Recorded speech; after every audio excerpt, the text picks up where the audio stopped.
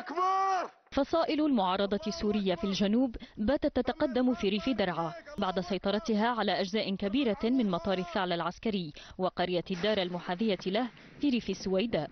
في وقت ارتكب فيه أمس عناصر تابعين لجبهة النصرة مجزرة في قرية لوزة في جبل السماق في ريف إدلب بحق سكان المنطقة من الطائفة الدرزية. راح ضحيتها 24 قتيلا على الأقل. بعد مداهمة عدد من المنازل بحجة أنهم موالون للسلطات السورية واتهموهم بالكفر بعد مشادة تطورت إلى إطلاق النار حسب المرصد السوري لحقوق الإنسان.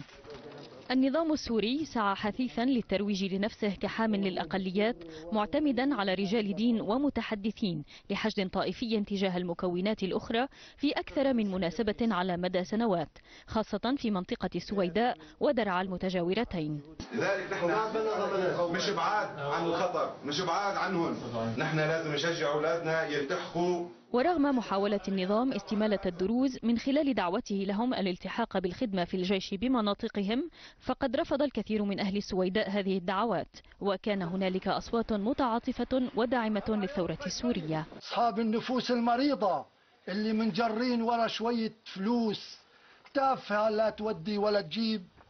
ارجعوا إلى ضمائركم واعتنقوا بندقيتكم وحطوا إيدكم في إيد إخوتكم السوريين اللي قايمين بالثورة لإنجاز ثورتكم لاسترجاع حقكم. لاسترجاع وطنكم ناطق باسم فصيل مسلح معارض في درعا قال توضيحا للتلميحات الطائفية التي يحاول موالو النظام ترسيخها إن هدف فصائل المعارضة في المعارك التي تخوضها منذ أيام شرق درعا هو استكمال السيطرة على المعاقل العسكرية للنظام في المحافظة.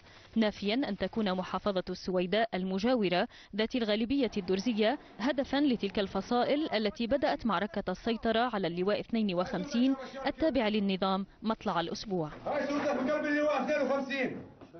ولقت المجزرة الأخيرة بريف إدلب دعوة من السياسي الدرزي اللبناني وليد جنبلاط للتهدئة والمصالحة مع أهل حوران وعقد الراية حسب تعبيره من أجل حماية أنفسهم محملا سياسة بشار الأسد الفوضى التي وصلت إليها سوريا.